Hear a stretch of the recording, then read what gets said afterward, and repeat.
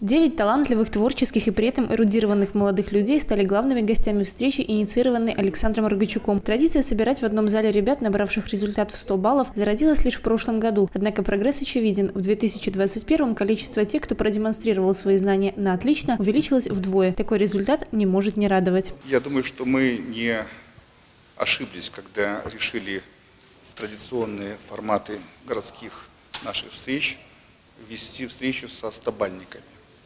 Как бы то ни было, 100 баллов по тестированию – это результат, это редкий результат. И всегда интересно посмотреть в глаза этим замечательным детям и узнать их мотивацию, как дальше они хотят строить свою жизнь. В этот раз в числе награжденных превалируют представительницы прекрасной половины – восемь девушек и один юноша. Список предметов, где каждый из этих молодых людей смог отличиться, достаточно обширен. Немецкий и английский языки, биология, физика, химия, обществоведение. К слову, у многих из них результаты по другим предметам также не меньше 90 баллов. В диалоге председатель Брестского горисполкома не раз интересовался у ребят секретом их успеха, который, как бы банально ни звучало, кроется в постоянной работе и искренней увлеченности выбранными предметами. Если честно, я я не ожидала, что будет именно 100 баллов. Я, конечно, знала, что будет высокий результат, потому что я ежегодно участвовала в олимпиадах по немецкому языку. И ну, я надеялась на высокий балл, так что 100 баллов это, если бы было меньше, если честно, я бы даже расстроилась. Ежедневные занятия с моей учительницей. Она каждый день говорила мне, что именно, где лучше повторить. Я ее слушала, и, собственно, благодаря этому, скорее всего, и был такой результат. Я начала готовиться еще в сентябре прошлого года. Старалась ходить на все репетиционные тестирования, и самое главное, перед днем сдачи с призом тестирования я прочитала все учебные пособия, которые были предложены к изучению данного предмета. Я нигде не сомневалась, нигде даже ничего не проверяла, потому что была ну, абсолютно уверена во всех своих ответах. Я вообще вижу себя в профессии юрист, потому что а, мне очень нравится изучать а, право, одновременно мне нравится изучать экономику и, конечно, духовную сферу, так как а, сам предмет обществоведения делится на несколько сфер.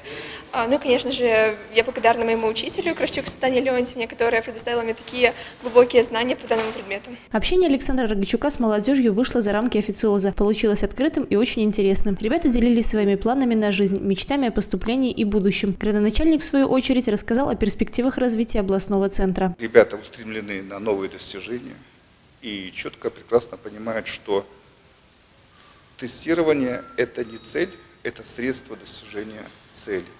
Я очень хотел бы, чтобы те цели, которые они ставят с точки зрения своей новой профессии, соответствовали целям развития нашего города, чтобы их знания, полученные в республиканских учебных заведениях, в российских учебных заведениях, потом работали во благо нашего города.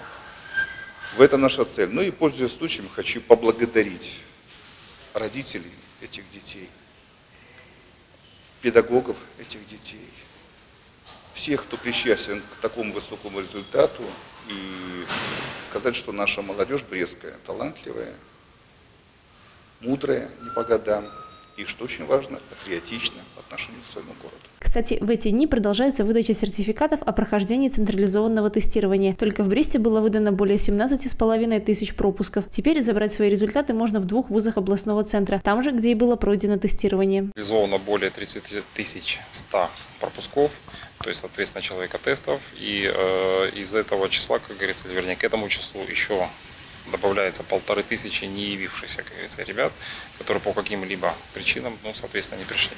Э, в этом году у нас всего лишь э, два человека было удаленных, то есть один был удален за использование мобильного телефона и, соответственно, один человек по медицинским показаниям. Кстати, для того, чтобы получить сертификат в 2021 необходимо при себе иметь аттестат об образовании. Напомним, полученные результаты действительно для предъявления в течение двух лет.